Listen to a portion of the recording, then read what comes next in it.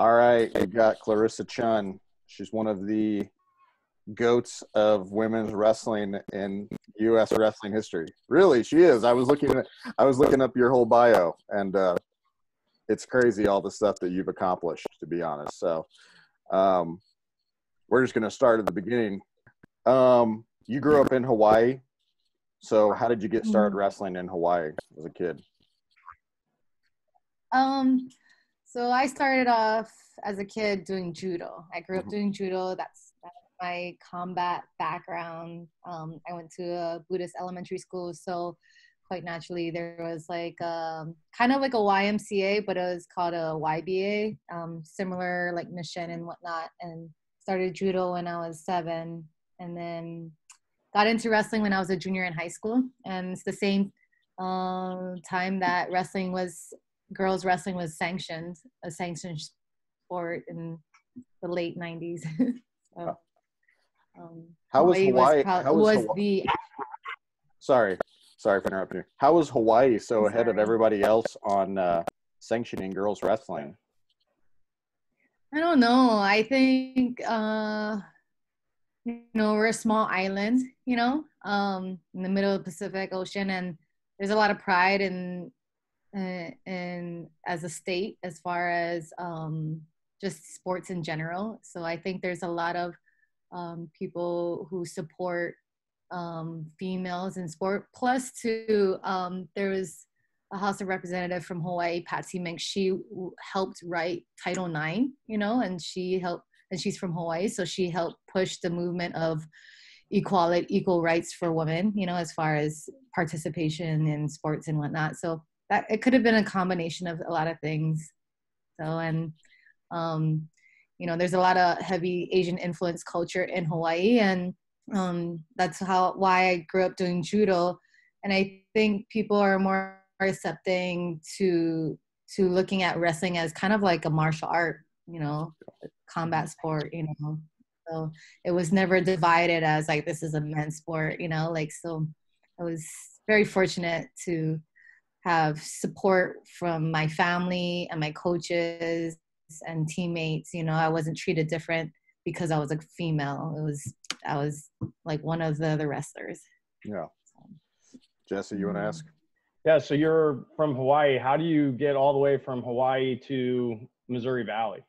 Ah, yeah. So lucky timing. Um, that year that I graduated high school, Missouri Valley College was the first women's wrestling college scholarship program. And luckily, Coach Mike Mockles had that vision to get that going and to make it a freestyle, like, um, because he could have chose to go folk style, but I think he had this vision of, hey, let's bring these women in and give them opportunities at the higher level, right? International level. So, uh, like our actual women's coach, the very first women's coach at Missouri Valley, he didn't know freestyle. So, and I didn't know freestyle. I didn't even know it existed. And, um, but we learned. We went to Sunkist International Tournament. It was in October. It used to be, you know, they used to have a competition every year, and we learned the rules, you know, by trial and error. And yeah, I was going to ask. So you kind of got in on on this pretty early, and now you're coaching at, at this level, at the at the Olympic level. So, I mean, what are some of obviously the whole game's changed, but what are some of the major things that stand out to you that have changed in women's wrestling just over the entire course of your experience with it? um, opportunity, right? So, um, as each state sanctioned girls wrestling, it gives more girls the opportunity to give it a try, right? Some some people don't mind wrestling boys, but they don't have that opportunity to continue further, just depending on individuals, right? Whether their coaches do want them on their team or don't want them on the team, whatnot. So I think the biggest thing I see is growth for women's wrestling. It's like continuously growing and giving these women opportunities more. And there's like when I uh, went to Missouri Valley, you know, in the early 2000s, late 90s, it was just us, Minnesota Morris, maybe Cumberland's like literally could count on one hand how many college programs there were for women and now there's 80 over 80 college programs for women you know and so on top of that it i don't know the exact statistics but um, someone had said that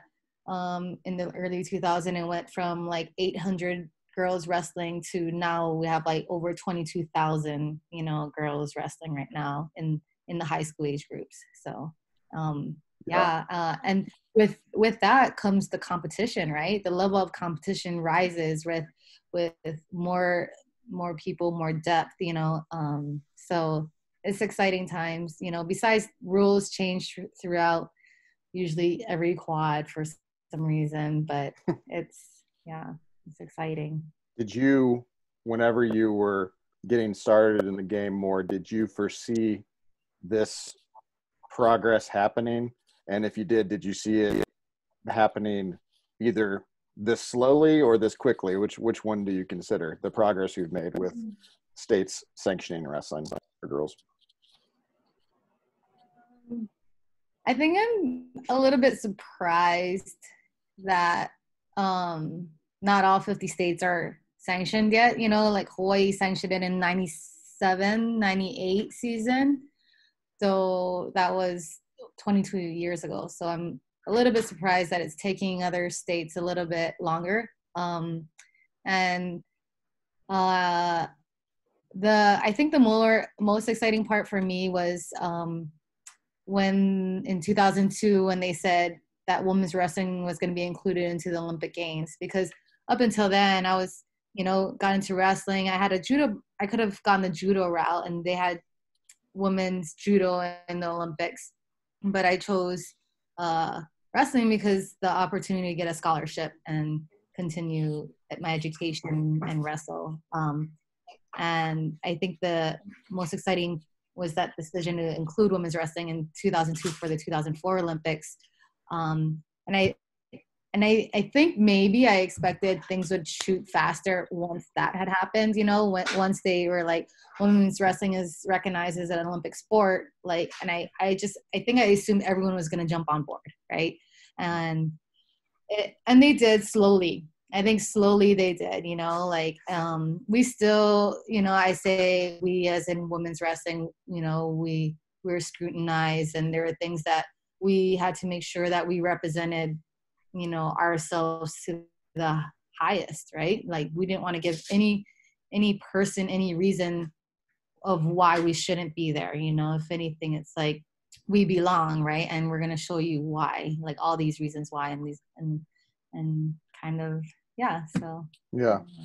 Well that kind of leads perfectly to what i was going to ask you about next which is it's kind of hard to backtrack and go through all the world experiences you had but definitely a big standout one was whenever you got bronze in the 2012 Olympics, which kind of what you're talking about. I think that that for for the American girls wrestling scene, that was a huge visibility marker. Basically, you know, we have a we have a, a woman placing at the Olympics and everything, which is still kind of crazy to think that's eight years ago, and we're still, you know, working our way towards visibility. But um, what a I know this is a, a big question, but kind of recap your your experience uh, getting bronze at the Olympics. It's a unique experience, obviously. yeah. I'm sorry. Can you say recap my Olympic experience? Yes, re- recap your your 2012 you experience. Yeah. Sorry. Um, no, yeah. Um. Ooh. Uh, it was ex- it was it was I don't even know where to start. Um because I also went in 2008, you know, and I think they were so great in different ways, you know, and there was different leading up into like preparedness and whatnot, whether we like, so for in 2012, we had our acclimation camp in Northern France. So we weren't, we weren't in the heart of everything. We did the opening ceremonies, which was electrifying and all this energy and it's hard to go to bed after it because the energy right from everyone the athletes the spectators and whatnot all the volunteers and everything i can't even describe it fully as far as put into words how how energizing it was to go through the opening ceremonies, you know. Um, but so after the opening ceremonies, we um, trained in northern France just to get away from all the energy and distractions and whatnot, and because we were in the second week of of the games, and so we spent a week in a quiet, remote, like country, rural, like area in France, and it was just our time to like you know just just be you know with the team and refine like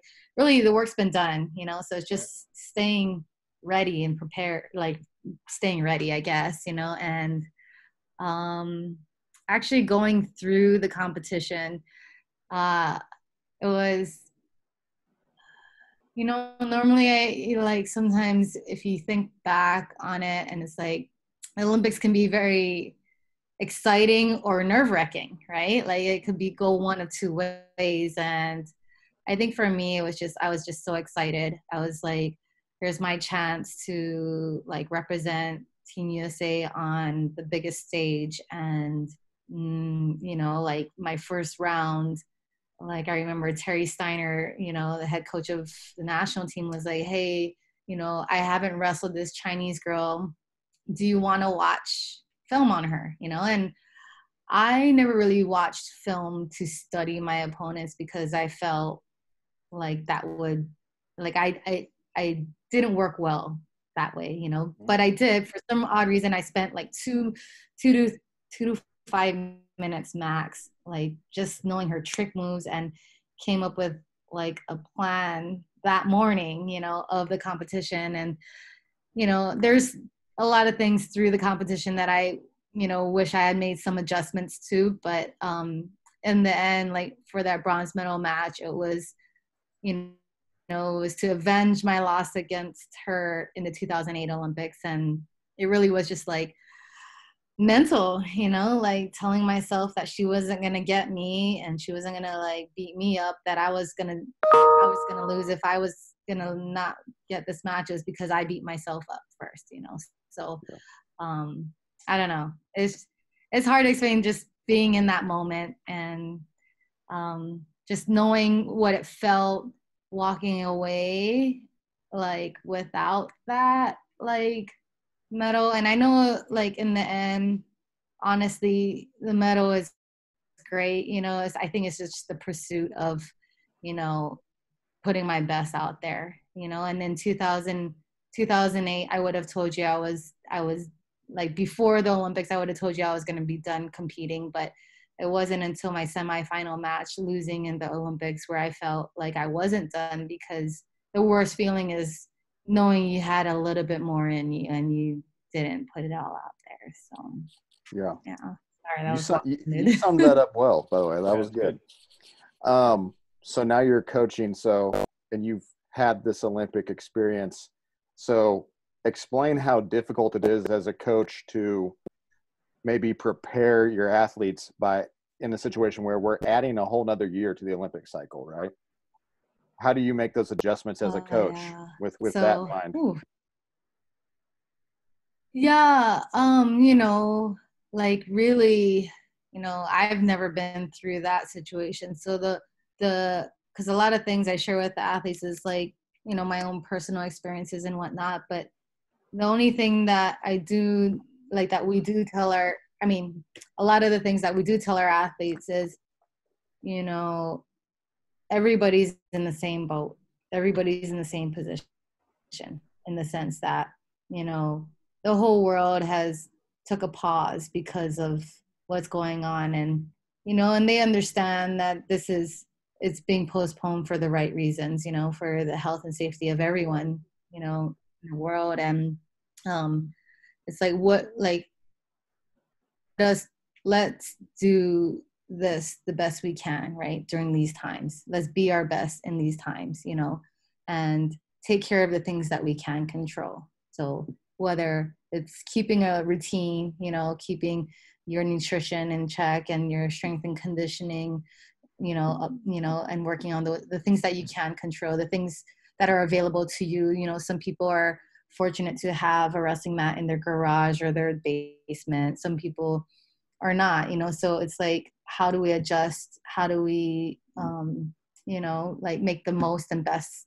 during these times you know? And you know there's a lot of things that they can work on whether it's sports psychology different readings visualizations. Um, there's so many things like video watching you know?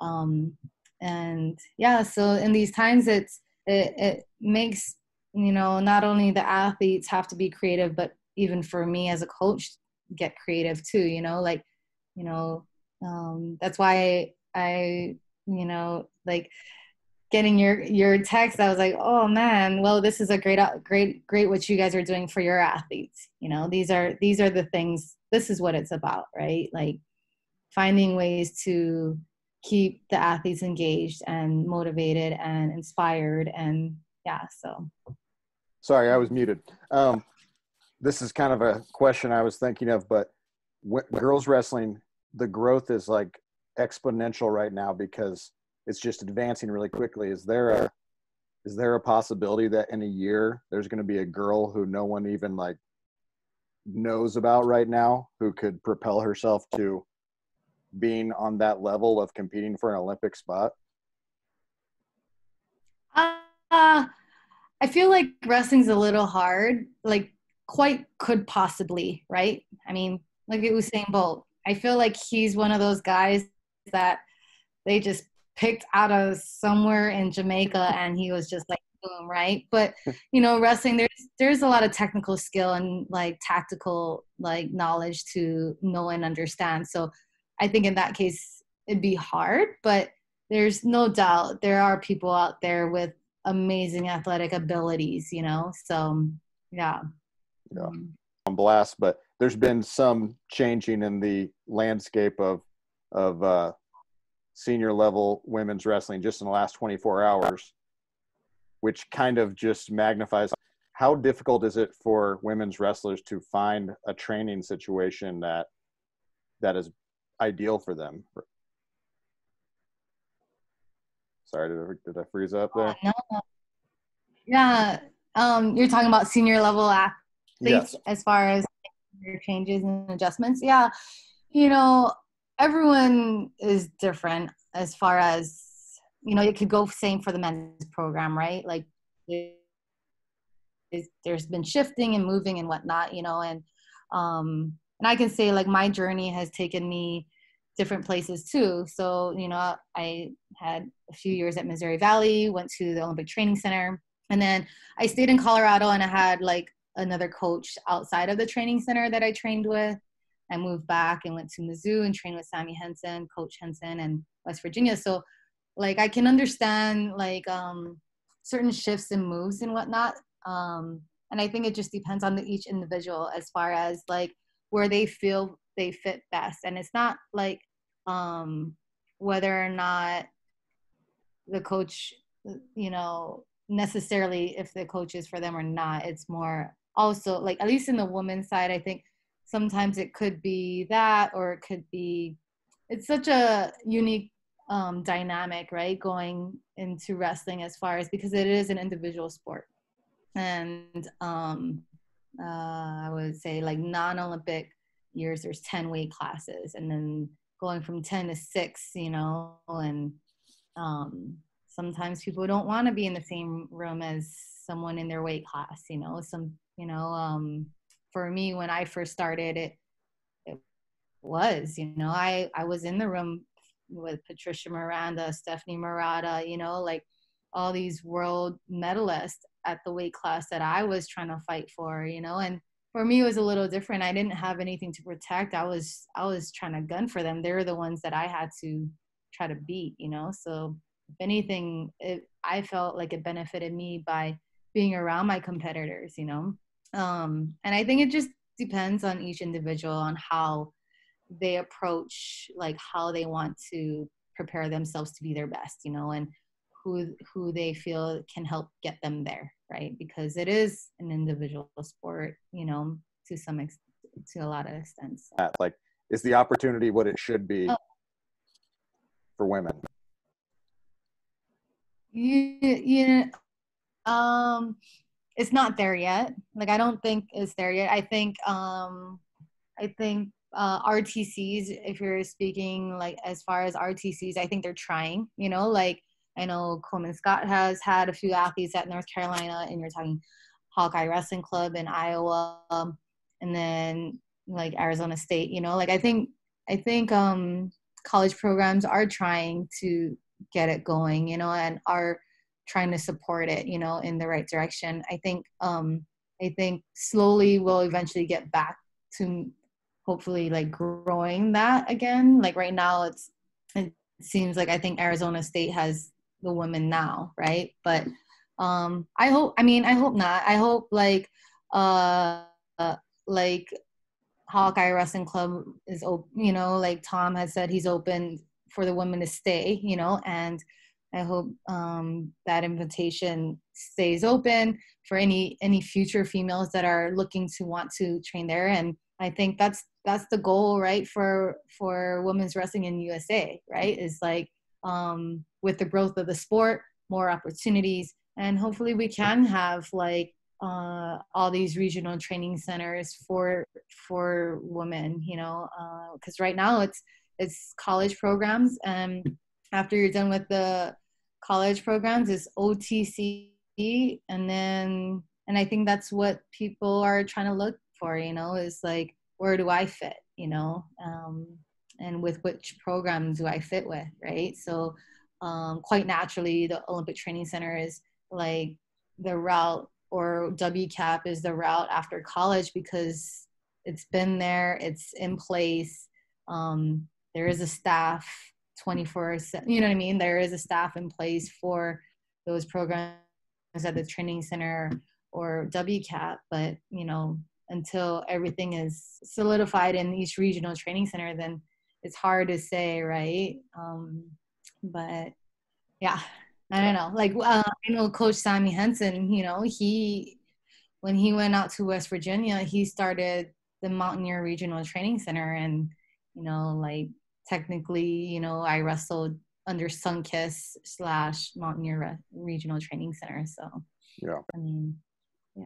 Do you uh you try to get how do you pitch it for girls to or any any athlete do you try to pitch for people to come out to the otc or and live or would you say that's more of like a situational opportunity for them yeah i think situational like i said everyone everyone's different. It's no different than picking what college do you want to go to and why you know like it's like okay where do you want to like why okay why would you want to train in Arizona or why would you want to train in Colorado or what what drives you to go out to West Virginia, you know, to train out there, you know, and it's usually, you know, because the coaching, but also another piece of it is like you got to think about your training partners because I know for me, you know, I had to recruit like luckily when I was training with coach Henson like his his sons like Jackson and Wyatt Henson were you know, like Jackson was my size and he outgrew me, but Wyatt grew up grew into my weight class. And